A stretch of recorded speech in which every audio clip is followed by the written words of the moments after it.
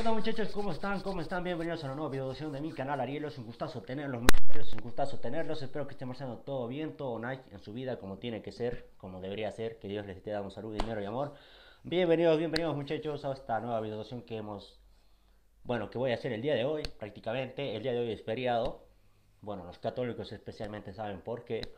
Así que pues eh, no vamos a empezar clases y dije, ay, tengo la mañana libre, así que bueno, en la tarde no tengo que poner a hacer mis tareas, pero en la mañana digo, voy a grabar, aprovechar grabar los videitos, eh, las sugerencias que ustedes me sugieren.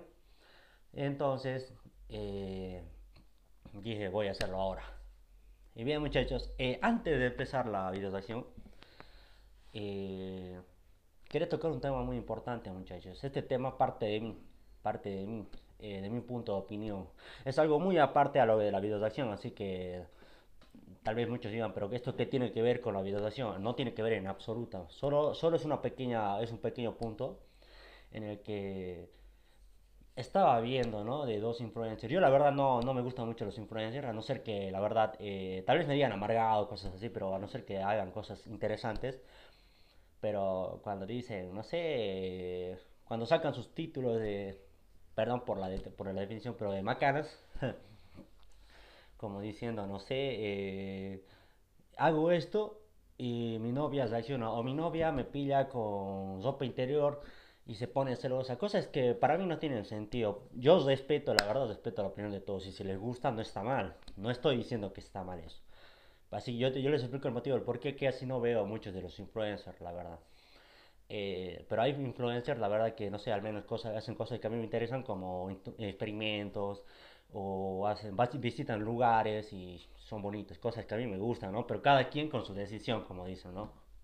El libre albedrío. Pero ahora aparte el punto que les voy a tocar es de, no conozco, no me acuerdo los nombres, la verdad, más que de la chica que se llama Adriana. El chico creo que se llama Carlos, no me acuerdo. Son colombianos y hace poco bueno, no sé hace cuánto, pero ahí salía 5 días. Y ustedes saben que como es YouTube, que se viraliza todo así un 2x3 y me sale a mí de la nada. Y bueno, a mí no me ha salido videos de él, porque yo prácticamente ni veo sus videos, ni sé quién era, hasta el día de ahora. Ahora que les estoy hablando, porque ahorita lo estoy grabando en horas de la mañana. Les puedo tocar en, cuando recién acabo de del trabajo, me he puesto a ver un dato de los videos de YouTube y encuentro 7 y media, 8 les puedo decir que he encontrado. Donde veo que el tipo lo pecha, ¿no? A la chica y delante de su hija, ya y ni siquiera son chicos, perdón, son esposos. Y, y, la, y, la nena estaba ahí, ¿no? Estaba ahí parada y es como que la nena dice, no pasa nada, esto ya lo he visto. Ahora, estaba viendo los comentarios un poco, ¿no? Así que sí, como, como, como esos, como esas mujeres tóxicas o esos hombres tóxicos que ven todo. Y digo, bueno, me voy, me voy a informar un poco más dentro de los comentarios y comienzan a decir que yo pensaba, o sea, como son influencers, pensaba que eso era parte de una escena o una, no sé, es que yo prácticamente tal vez me digan, no sé, andas muy desactualizado, pero yo no sé cuándo a veces hay cortes y es montaje, ¿no? Entonces yo dije, debe ser parte del montaje para, porque ustedes saben que los influencers necesitan, de, necesitan vivir de vistas, ¿no?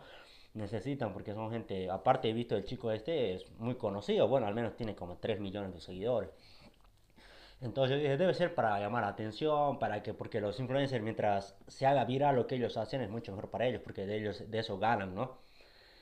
Pero pasa que, no, o sea, yo pregunto así, ¿esto es verdad o es fake? me dicen, o fake, ¿no? Y me dicen, es verdad, hermano. Entonces digo, vaya, agarro, entro al, entro al, a un video donde dice Carlos. No me acuerdo el nombre del chico, pero tal vez ustedes no, pues también porque tal vez ustedes anden en la misma onda que yo, o tal vez ustedes se den cuenta de quién estoy hablando. Pero eh, entro a ver donde él se disculpa. Y yo, yo comparto mis dos puntos de opinión. Esto es mi punto de opinión, como siempre lo aclaro nuevamente. Tal vez esté como loro, pero digo lo que yo pienso. No me lo han pedido ustedes, no, sino que yo creo. Porque sé que eh, hay, así sé que muchos de ustedes eh, tienen diferentes puntos de opinión o tal vez tengan la misma opinión, compartan la opinión que yo les, voy a decir, ¿no? Pero a mí, para mí, para mí muchachos, eh, tocar a una mujer es muy, es muy, muy fuerte. Eh, pero voy a aclarar luego el porqué. Bueno, aclaro ahorita el porqué, luego le voy a poner otro punto, ¿no? Porque, no sé, para mí la mujer carece de menos fuerza que el hombre, ¿no? y, tocarla a una mujer, eh, para al menos para mí, que yo he llevado una vida muy, muy, muy, muy... Tengo secuelas de infancia demasiado grandes porque no me gusta contar mi historia, pero en breve les voy a decir, eh, he visto eso en mi familia.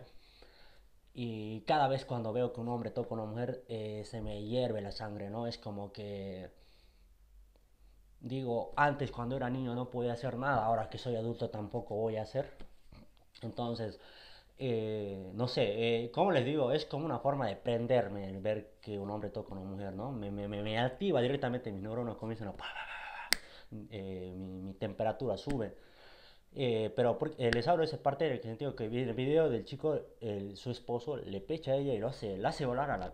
Yo lo digo sin términos a la mierda, ¿no? Y casi más cerca de la pared la cabeza, ¿no? Y luego el, el, el chico, o sea, se disculpa. Y les voy a contar lo que he visto, ¿no? Luego ya voy a opinar. Y pasa que el chico dice, me he criado con tres mujeres, dos hermanas, una madre, y eh, hay que respetarlas. Lo que yo he hecho no tiene justificación, porque yo soy una persona que no controla sus emociones. Me hubiera gustado reaccionar al video, la verdad, pero, o sea, uno, no me han pedido ustedes. Y dos, aparte, no sé si viene aparte del canal. O sea, si viene parte del canal. He pensado crearme eh, otro canal, muchachos, en el que podamos, pueda hablar yo más de opiniones, dar un poco más en videos más diversos, ¿no? Pero no sé, tal vez a ustedes les gusten que meta esas acciones acá y lo voy a hacer, no hay ningún problema. Pero muchachos, eh, yo les digo, he visto su video de él. Y la verdad sí, les digo, eh, para serles sincero, las personas cambian. No digo que no. Porque muchos dicen, si una vez te ha pegado, te va a volver a pegar. Mm, puede ser. Y en muchos casos se da así. Pero de que también no hay que, no hay que negarlo es que las personas sí cambian. Y una vez puede ser la primera y la última vez. Pero también entremos en la razón de que una persona no cambia de la noche a la mañana. Yo al menos por mi corta experiencia, no soy un hombre de 60, no soy un, un hombre que ha estudiado el comportamiento humano, no soy psicólogo, no soy eh, terapeuta, no soy nada de eso. Pero sí eh, leo mucho, veo muchos de esas personas sus contenidos y les puedo decir que las personas no cambian de la noche a la mañana. A no ser que sufran un gran cambio en su vida para recién pero la mayoría de la gente cambian solo por el momento para arreglar la situación y es cuestión de tiempo para volverlo a hacer. Y no me justifico, o sea, no, no, no quiero justificarlo como decir eh, de que una persona, no, o, al menos yo digo, o sea, eh, lo que quiero que entiendan de esa parte, no sé si me estoy trabando, pero es que nunca hay que decir yo nunca lanzaría la piedra, ¿no? Entonces, no vamos a hablar de que, porque mucha gente dice, yo nunca toqué a una mujer. Eso lo vas a demostrar con los hechos, porque con palabras todos somos magos, ¿no? Pero con los hechos. Y algún rato, por cualquier punto, por una, por tu inmadurez, por cualquier mala decisión, llegas a alzarle la mano a la mujer, yo lo que quiero es que sepan que esté mal, aunque, eh, aunque yo, un ejemplo, o esa persona diga, eh, eh, está mal tocar a una mujer, que sepan que está mal, no que esa persona nunca lo va a hacer, sino que las mujeres entiendan que el hombre que les toca tiene que, tiene que pagar las consecuencias, ¿no?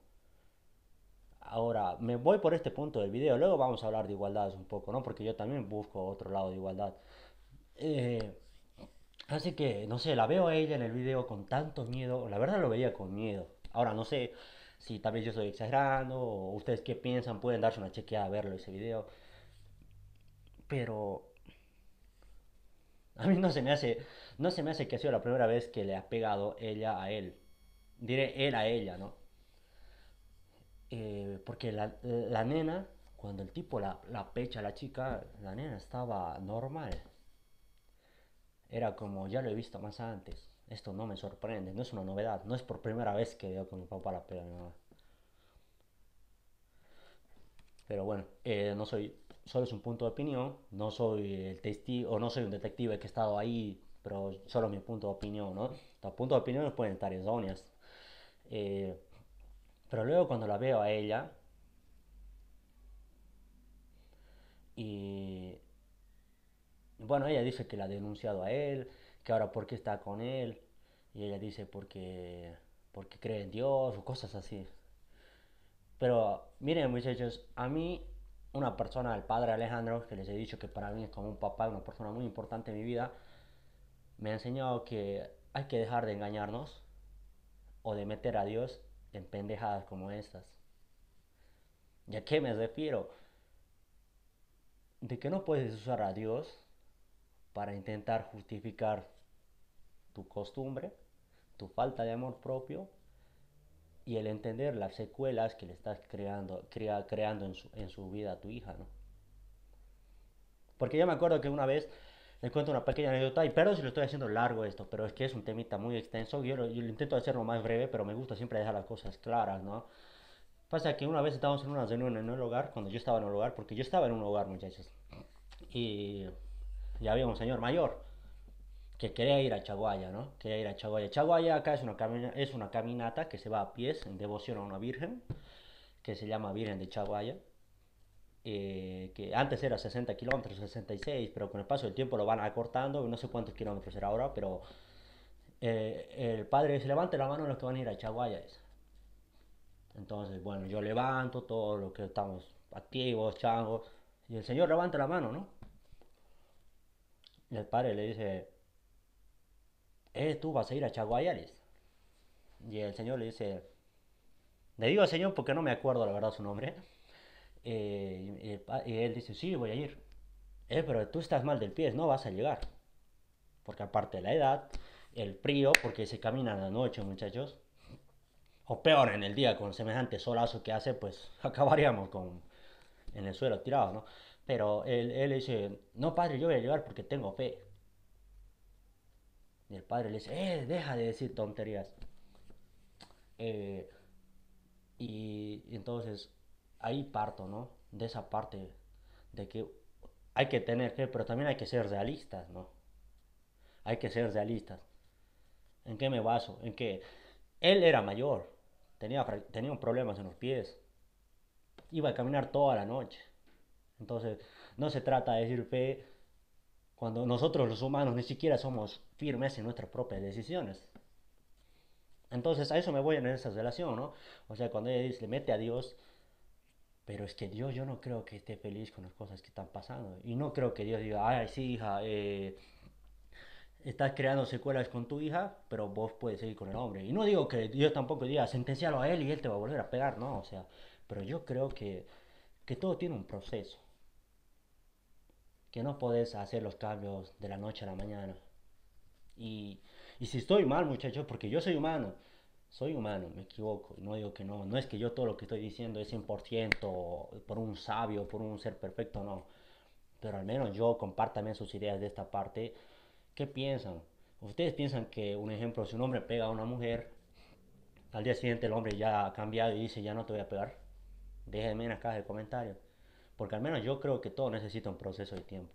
Tanto ella para sanar las secuelas, el miedo, el volverse a sentir segura ante él, y él para frenar los impulsos. Y hay otro punto también que muchos dicen, yo por eso prefiero pegar a la pared. Perdón, prefiero pegar a la pared o a las cosas. Es que eso también te lleva a pegar a un ser humano. O sea, no es que vos por agarrar no tocar a una mujer vas y puñeteas a pero y estás haciendo sumamente bien, no. Porque por conducta de un psicólogo, o sea, por conducta de un se puede decir, de un golpeador, llegas a tocar a, a, a, una persona. Y es lo que pasa con un boxeador, ¿no? El boxeador que va directo a pegar, no. O sea, el boxeador, yo les doy un ejemplo, ¿no? Una similitud. Obviamente que muchos me van a decir, pero eso es un deporte, es una carrera, que aparte el objetivo es ese, no. Pero un psicólogo a mí me lo ha explicado de esa forma, ¿no? Comienzas puñeteando la bolsa y luego ya sientes el placer de, de querer golpear una cara. Y entendido eso, lo mejor, muchachos, ustedes que pueden hacer es calmarse o irse a la mierda, así como se puede decir, irse a la mierda y ahí en la mierda comenzar a relajarse. Porque si ustedes comienzan a golpear las cosas, no están muy lejos de golpearla a la persona que tienen a su lado. Ahora me voy al otro punto, sea el X motivo, ¿no? Yo muchachos digo algo muy claro, también por esta parte podemos entrar en controversias. Eh, pero yo estoy acá para analizar, porque sé que muchos de ustedes saben muchas cosas, han sufrido muchas historias, eh, saben o es que lo han visto, o es que lo han visto, pero yo muchachos creo en la igualdad. Apartando este tema, también creo en la igualdad, el punto de que, de que, al menos a mí, si una mujer viene y me toca, no es que yo porque sea hombre tengo que aguantar.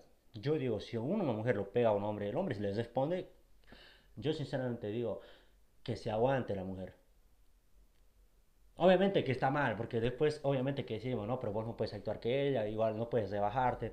Pero también hay casos donde mujeres pegan a los hombres, y lo he visto. Y solo porque la sociedad al hombre que le alza la mano a la mujer le dice cobarde, el hombre no le alza la mano. Pero yo siempre digo, prefiero ser un cobarde, pero tampoco soy un animal que no, tampoco soy una persona que no, tiene, eh, no tiene sentimientos. A mí me duele. Si una mujer viene y me tira un cachetazo me puñetea, me tira un palazo. ¿Yo qué soy? ¿Me tengo que calmar solo porque soy hombre? ¿Me tengo que dejar golpear solo porque soy hombre? No, yo me tengo que defender, me voy a defender. Porque yo siempre digo, ni vos puedes tocarla a una mujer, ni una mujer tampoco puede aprovechar el don de tocarte y agarrarte a patadas, a puñetazos solo porque es mujer. Entonces, eso siempre es importante mantener una... No se metan tampoco ustedes, eh, muchachos, a la cabeza de que porque sos hombre nunca la vas a tocar a una mujer y que la mujer te haga cagar a puñetazos, ¿no? O sea, vos me das uno, pues entonces te advierto que en la próxima te voy a responder. Me vuelves a tocar, te doy un manazo para que aprendas a, no tocarme. Yo también siento, soy un hombre, tengo más fuerza, en la mayoría de los casos, pero a mí me duele. Yo tengo piel, también tengo sangre, tengo huesos igual que vos. Entonces a ese punto quería llegar, ¿no? Y aparte otro puntito más que quería argumentar del video es que él dice, ¿no? Pero yo soy una persona que no mide sus emociones. Que no controla sus emociones o algo así. Muchachos, yo para qué mentirles sus disculpas de este, de este tipo. Eh, les he visto solo para salir del momento. Porque es como él se camufla haciendo creer que se disculpa, pero haciéndole también, eh, desde, mostrando desde su fondo, o queriendo hacer notar a su público que les inocente. Porque dice, yo soy una persona que no controla sus, eh, sus emociones. Entonces, lo primero, muchachos, para querer cambiar algo, es entender que no hay excusa alguna. Lo has hecho mal, está mal. No hay acá que no controla tus emociones, no. Luego vas a ver las cosas, pero lo que tienes que aceptar es que está mal. Y si te estás pidiendo disculpas ante tu público, porque yo creo que para él Perdón si, no, eh, si, me equivoco, pero creo que para él lo más importante es quedar bien, porque sabe que se puede ir al carajo si no pedía disculpas. Es lo mismo que pasa con ese Socas, ¿no? O sea, tiene que buscar pedir disculpas forzosamente porque también iba a pasar lo mismo. Yo ahora con esta influencia lo mismo digo, ¿no? O sea, hay mucha gente que que no lo hace por corazón. Y yo tampoco, por eso siempre recalco, no soy un set perfecto. Algunos datos me puedo mandar un cagadazo. Pero siempre digo, muchachos, acá no importa quién lo haga, lo que importa es saber que está bien o está mal. Eso hay que tener claro. Un ejemplo, él hablaba que nunca hay que tocar a la mujer. Lo ha tocado a una mujer. Pero nosotros hay que tener claramente que eso está mal. No es que podemos cambiar el dilema solo porque esa persona lo se ha equivocado. No. Es porque estaba viendo que muchos de sus seguidores, suscriptores, eh, no sé qué se llama, cómo se puede llamar a un influencer, o tal vez se llamara lo mismo, igual lo mismo como yo le digo, suscriptores, eh, muchos dicen, eh, lo, atacan, lo atacan con todo solo porque es influencer. Pero yo digo, es que tampoco podemos verlo eso normal. No pasemos a verlo eso normal. No debería verse normal. No debería verse normal ni que un hombre toque a una mujer, ni que una mujer toque un hombre. Ahora, más allá del cambio, al menos yo siempre digo, tiene que haber un tiempo de, lazo, de estar solos. Ya depende de la otra persona si quiere empezar nuevamente algo con esa persona o directamente dejarlo ahí. Pero si las cosas siguen como si nada, porque el otro dice, te, disculpame, me he equivocado, yo la verdad digo, es muy difícil, es muy difícil. Es muy difícil que la persona cambie. Tanto, como digo, las personas infieles, el hombre que toca a la mujer, vamos a irnos por el lado del hombre, luego ya podemos analizar otro día, o si quieren el comportamiento de una mujer, ¿no? Pero es muy difícil que, que nosotros para el otro digan, ah, ya no lo voy a hacer nunca más tienen que entrar en un proceso de primero entender que está todo lo que han hecho mal, sin justificación, después el proceso de analizar cuál es la solución al problema y luego darle una solución al problema. Bueno, no soy ninguna persona, no soy como siempre digo, no soy un terapeuta, no soy un psicólogo, no soy una persona profesional en esta área, pero yo solo pienso eso y creo que no sé, no sé qué tal piensan ustedes, perdón por alargarme demasiado en esta parte, pero quería dejar claro, ¿no? eh, este punto. Lo acabo de ver y quería comentarlo, ¿no? Porque, como siempre digo, también me gusta comentar otras cositas aparte, o, o, al menos cuando algo me interesa o algo que quisiera saber qué piensan ustedes, me gusta dejarlo acá en los videos, ¿no? Y bien, muchachos, ahora nos enfocamos en los videos de acción. Mil disculpas si lo he hecho largo. Ah, ah, una estiradita de manos. Ay. Estoy medio, estoy medio, medio macurcado, muchachos, hace frío acá. Bien vamos a seleccionar a lo que ustedes me han sugerido, que es eh, Rapero Subverso con el tema de Memorias de Velde. Vamos a darle go al video.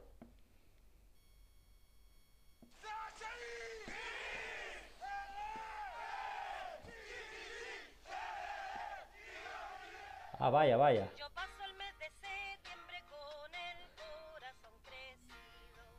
Ay, vaya, vaya. Eh, otro temita de Chile. Está interesante, está interesante. Esta semanita estamos reaccionando a Chile. Full contenido de Chile, ¿no? Demasiada calidad, talento. Ahora vamos a ver.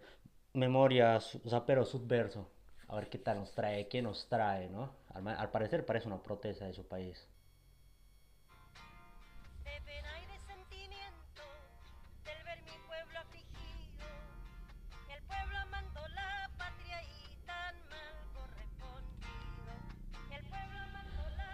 Qué bonita esta parte, ¿no? Y es algo, una, una, una, una, cruda realidad. El pueblo amando a la patria y tan mal correspondido. El, pa, el pueblo dando de comer a los supuestos líderes que nos gobiernan mal. A un pueblo que vive sometido a los caprichos de una sociedad injusta, inmoral y criminalmente organizada que le corresponde celebrar el 18 de septiembre. Uh, Nada, qué potente.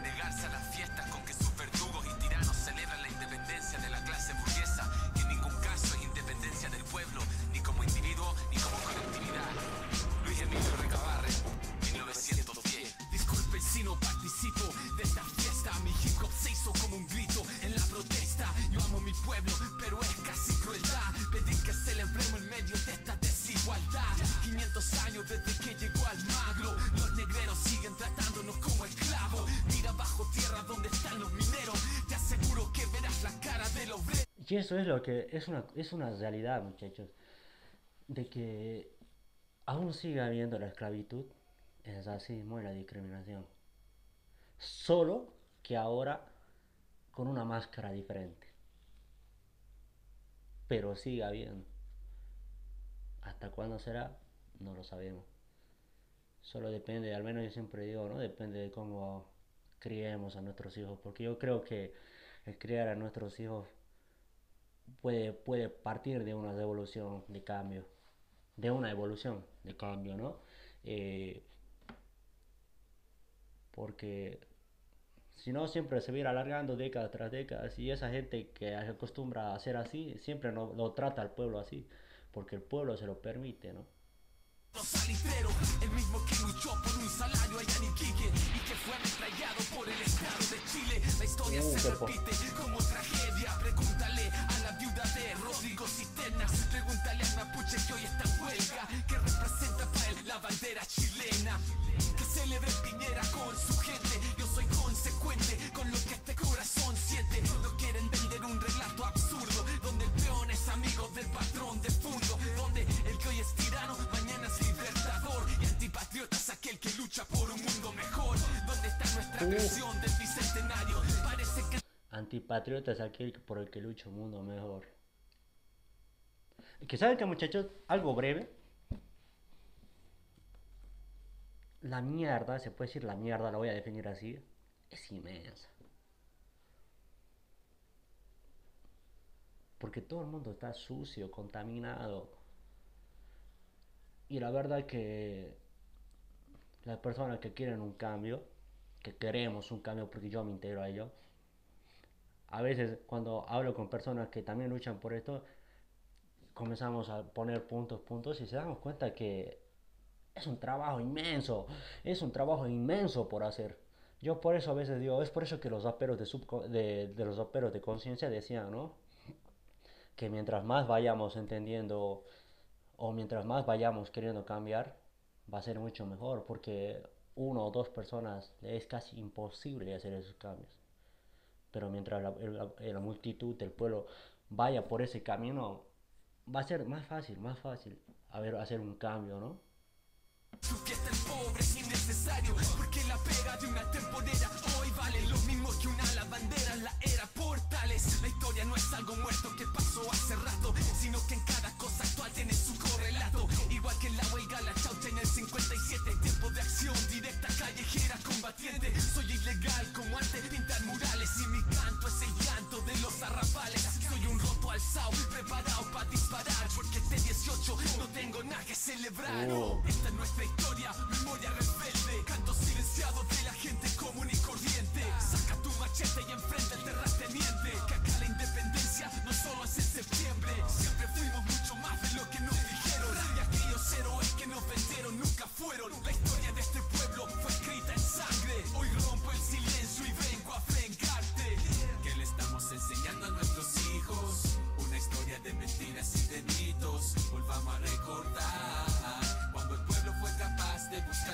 Eh, eso es lo estúpido, al menos hasta acá en Bolivia pasa, ¿no? En el colegio nos enseñan, ha habido guerra tanto, tanto, guerra de tanto, tanto. ¿Por qué? Por esto, por el otro. Pero hay que memorizarse como estúpido, ¿no?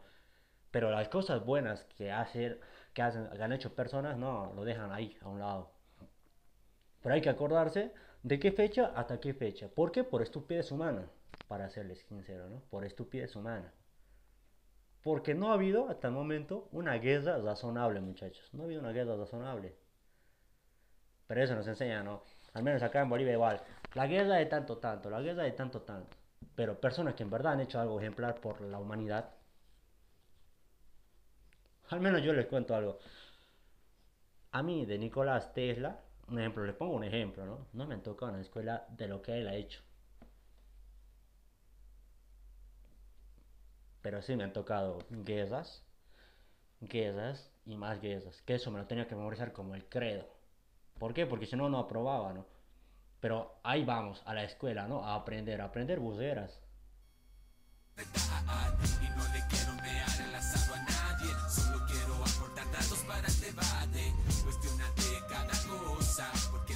de tu pueblo nunca fue color de rosas Yo tengo una sola postura con el patriotismo Si no le sirve al pueblo, la dura me da lo mismo Y eso pensaba el Gañán en 1810 Obligado a escoger por qué lado perecer Bueno, él, toca muchos puntos de la historia de Chile, ¿no? Yo prácticamente estoy nulo en esta parte, así que no voy a opinar, ¿no? De lo que de estas personas que él menciona, ¿no? Pero al menos aquí, él saca conceptos de algunos que está mencionando. Los que cayeron por Chile no eran de la élite. Y como no eran su guerra, vivían en escondite. Porque por cada carrera y cada Rodríguez Murieron cinco mil, pero nadie les hizo desfiles. Cúrrete, cacha lo que celebráis. Una junta de gobierno compuesta por gente high. La independencia solo fue un cambio de administración. Como Pinochet dando el bando a la concertación. Que ganó el pueblo con la flamante república. Solo el derecho a ser abusado con impunidad. A sobrevivir a duras penas Mendigando migajas con mentiras que inhalan. Como esa mítica guerra del Pacífico Que nos inspira de chicos un mítico espíritu cívico Ocultando una verdad paradójica. Con su sangre el roto financió la gloria del hipócrita. Aristócrata, todo cambia para que nada cambie. Como esa constitución mula de Alessandro Maquillaje, igual que Ibáñez con sus leyes laborales. Funcionales como centrales sindicales actuales. Que tienen a mi gente desmovilizada mal Y eso también, la guerra del Pacífico, del, del Pacífico, del Pacífico, aclararles también que cada, cada historia, cada país tiene un concepto. Acá en Bolivia, los culpables son los chilenos. En Perú, los cobardes son los bolivianos. Y en Chile, lo que le han, ¿para qué me joden los bolivianos? O sea, ¿se dan cuenta? La historia es modificada de acuerdo a la, a, a, a la conveniencia del escritor. Porque acá en Bolivia al menos nos enseñan que por la venta de los minerales ha comenzado a subir un precio por el cual Chile no estaba dispuesto a pagar. Entonces de ahí ha comenzado la discordia y lo cual entraba en juego también lo que es Perú. Entonces Perú se ha metido a ayudarnos en la guerra y luego los bolivianos lo han dejado a, a Perú solo, cosa que Chile por esa razón eh, a, nos, ha, nos, ha, quitado el litoral boliviano, el mar a nosotros los bolivianos y parte del Perú, ¿no? Se cuenta así. Entonces, ¿quién es acá el villano? Chile. Pero al final te das cuenta que es pura mierda lo que hace. ¿Por qué? ¿Por qué no podían tranquilamente hablar pacíficamente puertos? ¿no? Todo, era, todo era por beneficio propio. ¿no? Por eso digo, ni los peruanos, ni los bolivianos, ni los chilenos en esa guerra del Pacífico han hecho algo bien. Está todo el carajo. Así. Todo, todo es conveniencia, codicia humana. Todo es codicia humana. Pero, a la, eh, pero en el colegio nos enseñan que que hay que morir por la patria. No, yo no muero por la patria, yo moriría por cosas razonables en mi patria, ¿no? Porque si mi patria, el, el pinche presidente se le ocurre tirar un, un quilombazo a otro país por puro pedo de él, porque se le agarra la bronca con el otro país, el otro tipo y que nosotros tengamos que ir a luchar, no, que se va, que él vaya y se mate a balazo con el otro, ¿no? ¿Por qué el pueblo tiene que ir a luchar como burros, no? Porque abren el cosal y tienen que salir todos, ¿no? ¿No? O sea, yo por eso pienso muchas cosas diferentes. Yo no pienso que hay que morir por la patria. Hay que morir en la patria, al menos, pero sabiendo el por qué, de qué y si vale la pena. Porque nosotros no somos, no somos eh, máquinas que nos autorizan a hacer eso y tenemos que hacerlo, ¿no? Tenemos que pensar. Y si muchos pueblos pensarían eso, sería algo muy diferente. ¿Por qué? Porque ahora entran al cuartel para defender mi patria. ¿Y cómo es su defensa de su padre? En guerras estúpidas, en guerras sin sentido, en guerras que no han aportado una paz del mundo. Si ahorita, muchachos, el mundo está en paz, es porque el enemigo todavía está planeando cómo destrozarlo al otro enemigo. Porque una vez que ya esté seguro que lo pueda destrozar, este mundo se va a acabar sobreexplotada, asustada y endeudada. Si este sistema todavía usa pulpería, tarjetas crédito son como fichas hoy en día. La historia de Chile es la historia de la explotación, latigazos del patrón, castigos y represión. Los 100 que mueren cada año en la construcción son los mismos que agonizaron para el oro del conquistador. La clase que hoy trabajan en Cosud y Falabella es la que antes llevaban con cadenas a las faenas y esas columnas uh. terroristas de la prensa son las mismas del racista Vicuña Maquena. De la Araucanía, mejor decirle genocidio por objetivos monetarios de Chile. Así que no. Me río, ¿saben por qué, muchachos? Porque esta canción no va a sonar nunca tan famosa en Chile. Porque tristemente no, no se vende conciencia hoy en día. Se vende pura porquería. Y dos, ¿ustedes creen? ¿Ustedes creen que los políticos al escuchar una canción que les estén tirando un dardazo de frente se van a sentir se van a sentir bien escuchándolo? No. Porque prácticamente esta canción es un tú versus tú contra todos los que han hecho daño a su país. Buenísimo el tema. Dejí que te vengan con cuento. La nación chilena fue una más de sus inventos. Esta es nuestra historia, memoria rebelde. Canto silenciado de la gente común y corriente. Saca tu machete y enfrenta el terrateniente. Que acá la independencia no solo es en septiembre. Siempre fuimos mucho más de lo que nos dijeron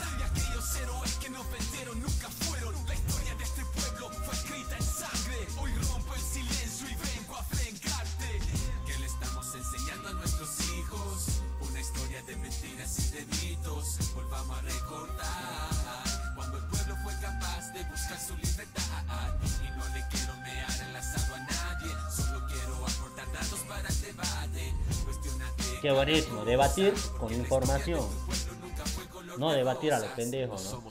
Invisibles, no somos apéndice, no somos desechables, no somos nota al pie. Nosotros somos los que las riquezas elaboran, como Shen Shen Filu, somos fuerza creadora. Pero la historia oficial oculta tu cara y te ofrece en su lugar caricaturas baratas, literatura chata, cultura en lata, poemas y estatuas que alaban todo el rato al roto, pero en la abstracta, porque en la uh. realidad lo tratan como una rata, lo retratan como el representante. Más claro, más claro imposible. Mapuche buen guerrero, si está muerto, pero si es como Kilapan hoy, es mejor someterlo. Para los que saltarán a defender la patria, la cultura chilena, la bandera y las ramadas, les digo, yo creo en celebrar todo lo nuestro, lo auténtico, lo popular, lo que viene de adentro. Solo acuso al rico y su estado nacional, que utilizó las fondas como un instrumento funcional, porque los que hoy nos embriagan con chicha y empanadas son los que antes llegaban y allanaban las chinganas. ¿Por qué? Porque eran nuestras, propias, fuera su control, libres de... Bueno, chinganas, ¿qué significa eso muchachos?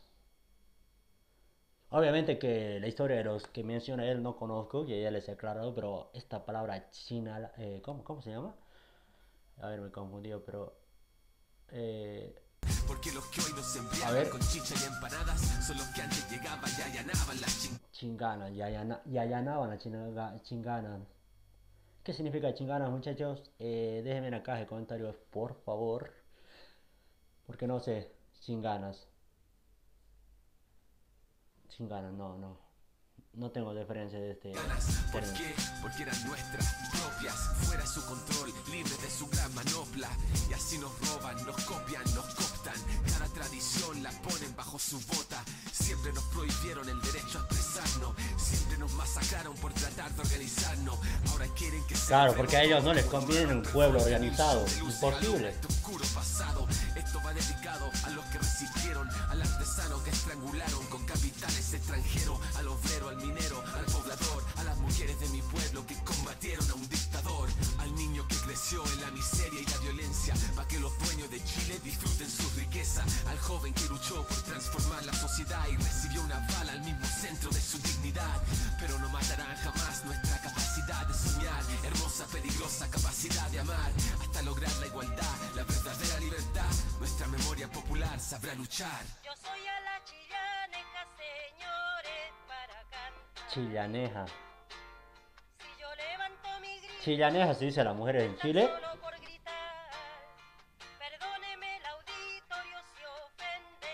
Qué bonito canta.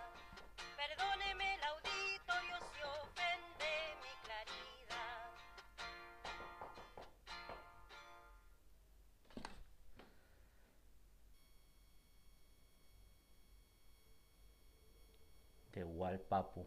Libertad a todos los presos políticos. Fin a la militarización del Papu. Bueno, de esto no tengo conocimiento qué será, ¿no? Eh, eh, bueno, muchachos, eh, esa parte de Papu tampoco tengo ideas. Muy buen tema, la verdad, muy bonito. hay varios temas, ¿no? Varios temas en protestas contra los que mal manejan el país de Chile, ¿no? Pero la verdad que yo digo, o sea, estos temas, al menos acá en mi país, Bolivia, no hay, no sé, o no conozco, tal vez puede ser que no conozco. No conozco a un rapero que, que haga protestas contra el gobierno. Porque acá en Bolivia también estamos, estamos del ojete, muchachos, también con nuestro, con nuestro, supongo, eh, lo digamos, con nuestro gobierno, ¿no? Y bien, muchachos, espero que les haya gustado esta video Eh, Mil disculpas si les tocó un tema que no venía al caso al inicio de la introducción. Déjenme en la caja de comentarios qué les parece, qué opinan, qué piensan, estoy equivocado o opinan igual que yo. Eh, o déjenme en la caja de comentarios. Yo estoy para aprender. Estoy para aprender también, muchachos, ¿no? Nos vemos en la próxima videoación. Si les gusta, no olviden dejar un buen like. Coméntenme en la caja de comentarios qué próximas videoaciones quieren que haga. Y nos vemos en el próximo video. Chao.